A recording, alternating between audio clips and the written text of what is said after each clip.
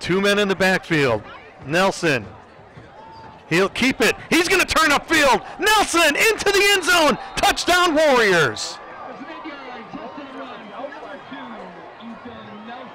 Looked like he was going to pitch the ball. Took it himself.